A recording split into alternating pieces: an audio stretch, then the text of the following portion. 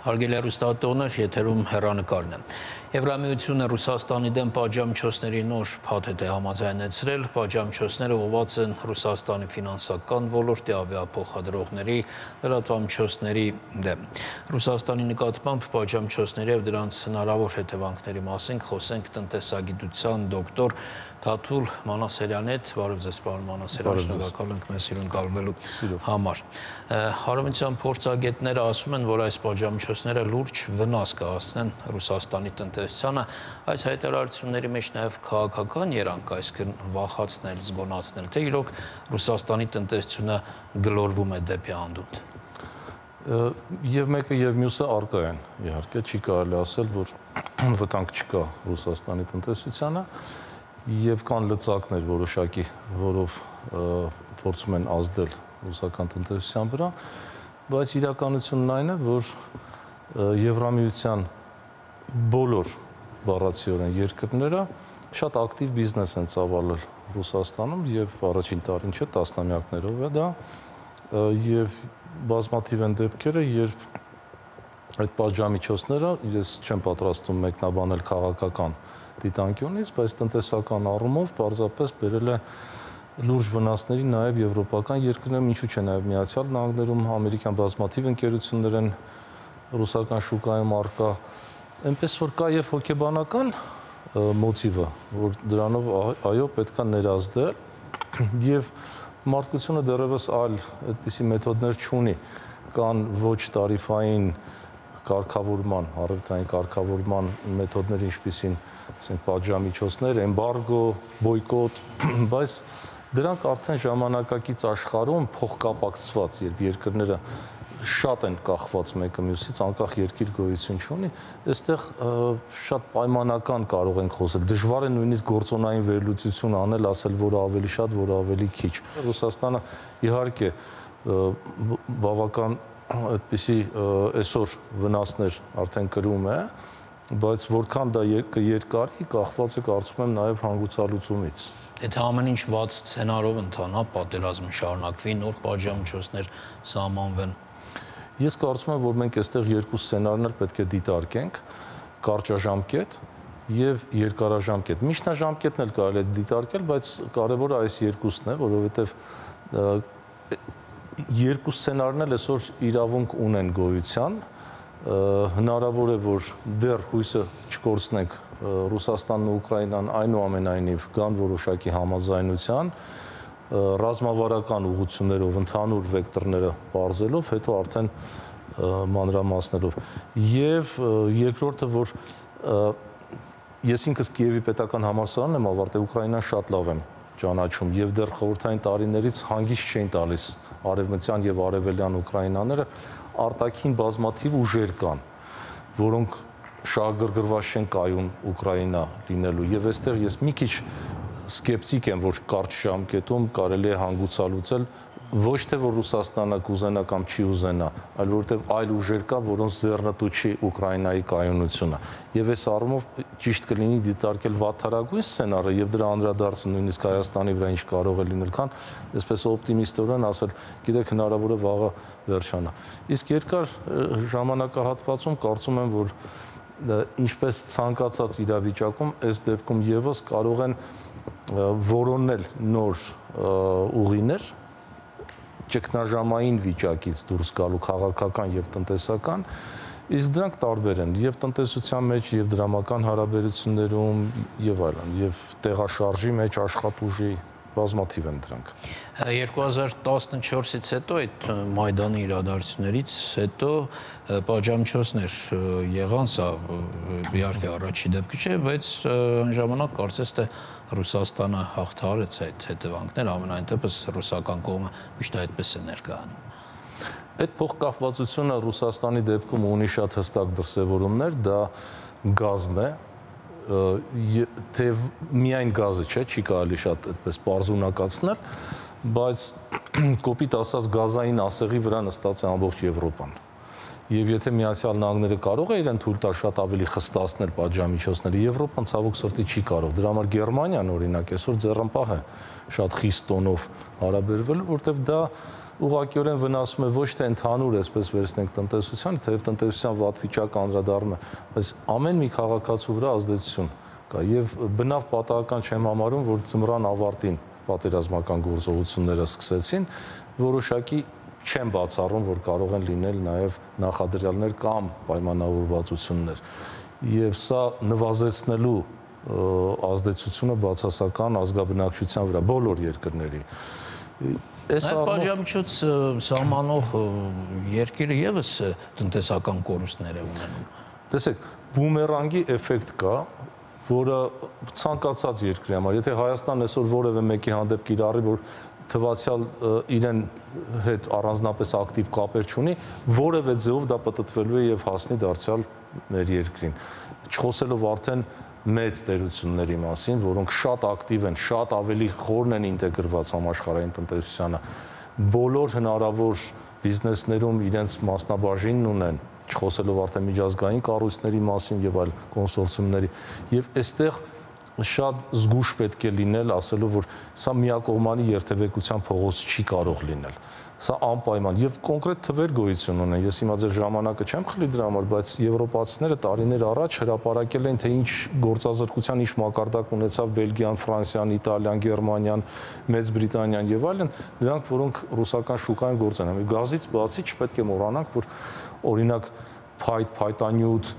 մետաղ եւ այլն, սա եւս Ռուսաստանից արտահանվող ապրանքների մեջ բավական լուրջ տեսակարար կշիռ են կազմում, առանց որի չի կարող եվրոպական բազմաթիվ արտադրություններ ուղակի գոյություն ունենան։ Չեմ խոսում մասնագիտական ներուժի մասին, էներգետիկայի տարբեր ոլորտներում ռուս էներգետիկների հետ միասին տարբեր նախագծեր, պրոյեկտներ են իրականացում եւ իհարկե շատ մեծ դժբախտություն է պատերազմը, շատ մեծ դժբախտություն է, բայց ասել, որ դրա վրա կարելի է մեկ կամ երկու լծակով ազդել, այս այդ դեպքը չէ անգամ դրամական հարաբերությունները ֆինանսական համակարգը որ 1 տասնյակ տարի առաջ կամ երկու առավել եւս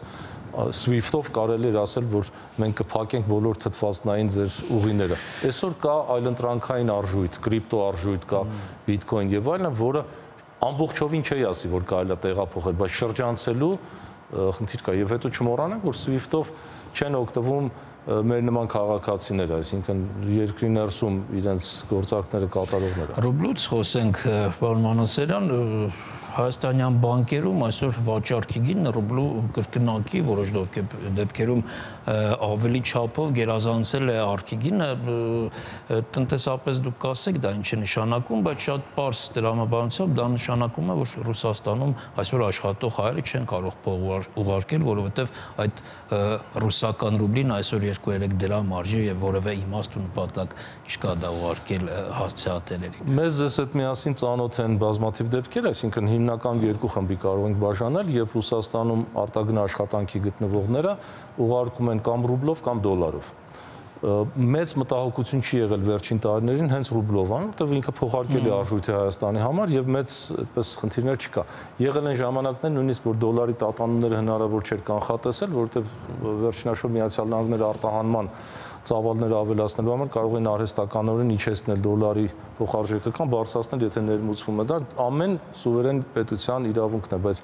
Ռուսաստանի դեպքում մի փոքր ավելի կանխատեսելի, որտեղ հասանելի, մատչելի է այդ ինֆորմացիան որպես առևտրային գործընկեր գոնե։ Այս պարագայում ես կարծում եմ, որ մանավանդ արքի եւ վաճառքի գները դրանք քիչ կանխատեսելիության հետևանք են այդ մարժան պիտի մնա, որպեսի փոխանակման կետերում մարդիկ վնասներ չկրեն պարզապես, որտեղ ոչ ոք չի կարող ասել 1 ժամ հետո ինչա լինելու։ Կարող այնպեսի կտրուկ փոխվի իրավիճակը, որ այն ինչ որ փոխել են, իրենք ուզենային դառնել այդ գնով հենց փոխանակողները։ Դրա համար սա դրանով է պայմանավորված։ Հայաստանը ինչ կարող է անել։ Հայաստանի վրա ես այդպես մեծ վնասներ չեմ տեսնում որքան էլ տարօրինակ թվա։ Ինչու, որովհետև նախ եւ առաջ նկատի ունեք։ Այո, ես ծանր ազդեցություն չեմ տեսնում։ Կարող է ձեզ համար տարօրինակ թվա, բայց ինչու։ Առաջին հերթին ես դա բացատրեմ նրանով, որ Հայաստանը առաջին հերթին ներմուծող տնտեսությունն է, քան արտահանող։ Սա դժբախտաբար իհարկե, բայց ներմուծելիս ազգային արժույթը երբ բարձր է, ավելի ձեռնտու է առնել։ Հա, իսկ արտահանման դեպքում հնարավոր է որոշ ծավալային նվազում, կրճատում, որտեղ գնողունակ պահանջարկը Ռուսաստանի Դաշնությունում նվազում է, անկում է ապրել եւ պետք է այստեղ զգուշ լինենք այն ապրանքները, որոնք մեզ համար համակարգաստեղծ են, այսպես ասենք, եւ մենք դրանով աշխատատեղեր պահելու խնդիր ունենք սոցիալական, կարծում պետության աջակցությունը չպետք է հապաղի, թիրախավորվեն հատկապես այն տնտեսությունները, արտահանման կարողություն ունեցող արտադրությունները եւ այլն, հատկապես գյուղացիական տնտեսությունը, որտեղ մենք հիմա գյուղացիական սեզոնին ենք մոտենում, որpիսի իրենք մեծ վնասներ չկրեն, բայց ներմուծելիս ես նույնիսկ հորդորեի կառավարությունը օրինակ պետական պահուստներ ավելացներ գազի եւ մնացած, հա, նավթամթերքի եւ այլ եւ այլ, որտեղ մենք մեզ հայտնի չի թե ինչա լինելու հետո կոմունիկացիաների հետ ցանկացած հումք մեզ համար ձեռնտու է այսօր մեծ քանակությամբ գնել, որտեղ արժեքը ընկել է։ Եվ այդ հումքի վրա արտադրություններ զարգացնել, որոնք կուղվեն դոլարային գոտի, որոնք կուղվեն եվրո գոտի։ Եվ այստեղից մեր շահույթը կլինի կրկնակի եւ երակի, եթե կուզեք։ Ես սա բանալիներից մեկը կանվանեի։ Հասկանալ է։ Կարող է Հայաստանը ավելի մեծ շուկա դառնալ Ռուսաստանի համար այս իրավիճակում, քան որ արևմուտքից ամեն ինչ սահմանափակված է, այսպես ասենք, արևմտյան շուկան կարող է, կարող է, վստահաբար կարող է, եթե մենք կարողանանք ճիշտ վարել տնտեսական դիվանագիտությունը։ Տեսեք, ռուսները այնուամենայնիվ ունեն գազային դիվանագիտություն, որը հրաշալի ի տարբերություն այլ տարբեր ոլորտների գործում է բոլորի հանդեպ եւ հետ խորթային տարածքի երկրների, այդ թվում Հայաստան, մյուսներ եւ եվրո, եվրոպական երկրների հանդեպ մենք կարիք ունենք ոչ միայն այդքան միգուցե պետք չի շատ մանրացնել դեպի ըստ ճյուղերի դիվան, բայց տնտեսական դիվանագիտության գծով մենք պետք է իսկապես արաբական աշխարհ, հա, մեզ համար բարեկամ երկրներ դրանց հետ համագործակցելով նաև օգտակար լինենք եւ առևտրային ռազմավարական գործընկերոջը եւ ինքներս մեզ, որովհետեւ դրանով նաեւ մենք մեր կարողություններն ենք ընդլայնում եւ ավելի լավ դիրքավորվում այս տարածաշրջանում։ Շնորհակալություն պարոն Մոնասերյան եւ վերջում դուք սկզբում նշեցիք նաեւ հոգեբանական ազդեցության մասին։ Տեսեք նաեւ ինչ դրսևորումներ կան հոգեբանական ազդեցության տնտեսությունից բացի արկելում են ռուս մարզիկներին հանդես գալ սեփական երկրի դրոշով, օրներկով ռուս շախմատիստները չեն կարող մասնակցել մրցաշարերի եւ այլն եւ այլն մյուս մարզաձևերի։ Սա եւս հոգեբանական ազդեցություն է, որը ուղղված է նրան, որ անհանդուրժողականություն առաջանա իշխանությունների հանդեպ բնակչության շրջանում մարզիկների եւ այդ ամենի պատուղները մենք կարծես տեղ-տեղ տեսնում ենք։ Ես կարծում եմ, որ ցանկացած երկրի մարզիկ հատկապես արվեստագետ, գիտնական ինքը չի կարող դադարել սիրելու իր երկիր, ինչքան էլ որ երկրի իշխանությունների վարած քաղաքականությունները իր համար այսպես ասած անընդունելի լինի եւ դա մի քիչ ավելի այսպես անիմացիոն ժանրից է կարող են մուլտֆիլմեր անել եւ այլն կամ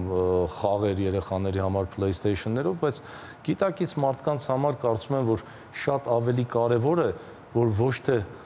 զենքին ապավինեն, իսկ բացառված չէ, որ գերտերությունները հենց դրանով են հարց ուզում լուծեն, այլ մյուս զենքին, գորշնյութին։ Եվ ես համոզված եմ, որ այդ ռեսուրսը սպառված չէ բանակցելու, ընդհանուր լեզու գտնելու ժամանակակից աշխարհում իսկապես ինքնասպանության նման խնդիրը, երբ պատերազմներ են վարվում եւ դրա մեջ շահագրգիռ կողմերը, ես նորից ուզում եմ ընդգծել, թող պարզունակ հայերիս համար չթվա, որ Ռուսաստան, Ուկրաինա հակամարտությունն է միայն միգուցե խորքում այդպիսի բան իրականում կա, բայց այն ուժերը, որոնք նաև որ խորապես գիտեմ Ուկրաինան, որոնք շահագրգռված են մասնատելու եւ դրա հիմքում դնելու ուղափառ եկեղեցիկի է կաթոլիկ, արևմտյան Ուկրաինան էսպիսին է արևելյան ոչ, մարդկանց պետք է հանգիստ թողնել պետք է թողնել, որ մարդիկ խաղաղ պայմաններում անվտանգ կառուցեն իրենց տունը, իրենց երկիրը եւ կարողանան լեզու գտնել բոլորի, որովհետեւ ի վերջո համոզված եմ, որ սահմանները խիստ պայմանական են լինելու, միայն վարչական միգուցե հարկեր հավաքելու համար, ոչ ավելին։ Մարդիկ պետք է նույնպես ոչ մի եվրոպացի մեզնից լավը չի կամ մենք լավը չենք եվրոպացիներից։ Մարդիկ հավասար են ծնվել, պետք է արժանի լինեն այդ հավասար պայմաններին։ Վաղ թե ուշ այդ վիճակը լինելու է նաև մեր տարածաշրջանում, բայց գոնե քիչ զոհեր լինեն, քիչ վնասներ։ Շնորհակալություն, պարոն Մանասերյան, հետաքրքիր զրույցի համար։ Հարգելի հեռուստատողներ, մեր հյուրը տնտեսագիտության դոկտոր Թաթուլ Մանասերյանն էր։